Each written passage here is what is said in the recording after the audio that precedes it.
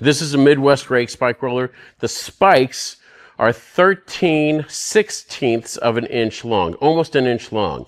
You want really long spikes when you're doing at least a quarter inch or thicker because if the spikes are too short, if they were only half this length, this product is too thick and heavy and it would start to overwhelm the spikes and then you would just make a sludgy mess. So you need really, really long spikes so they can roll through it.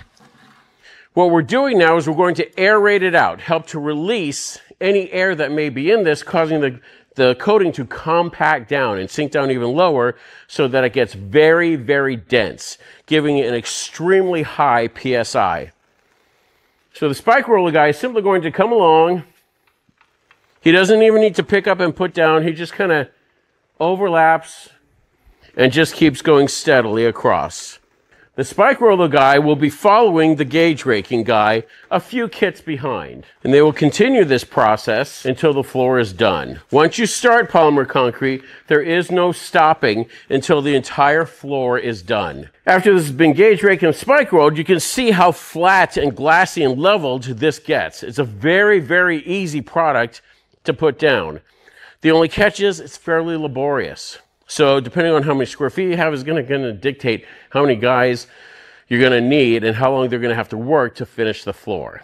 Once this is done, you're kind of at a you're kind of at a finish point right now, depending on what they need this floor for.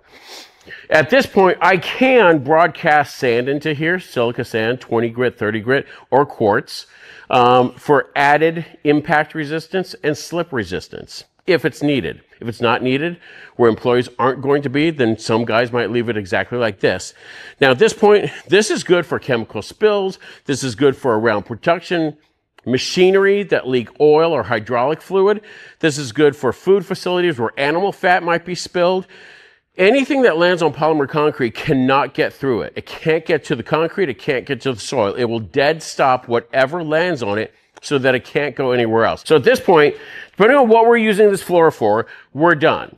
We can come back the next day and leave it just as it is, and then it's returned to service, foot traffic, generally within 24 hours.